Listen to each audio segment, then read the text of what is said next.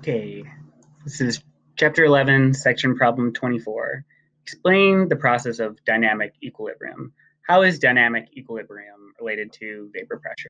So uh, dynamic equilibrium basically just means that the, the reaction is ongoing and the equilibrium is uh, attempting to work itself out. So the textbook has the following sentence included. When a system in dynamic equilibrium is disturbed, the system responds to minimize the disturbance and return to a state of equilibrium. So as it relates to vapor pressure, um, a solution will constantly be attempting to um, respond in order to return to a state uh, explained by the equilibrium. So in vapor pressure, you know, if we're thinking about vapor pressure, if we have a liquid and we have a gas, well, then the the proportion or, or the rate of you know the rate of vaporization and the rate of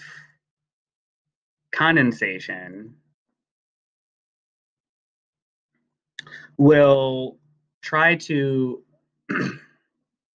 organize themselves and rearrange in order to come up with with the defined vapor pressure uh, of that molecule. It's it's kind of tricky to explain from a distance, but you know, basically, if the system's in dynamic equilibrium, uh, vaporization and condensation are all occurring in a in a manner to re- return the system to equilibrium, as described by other equations.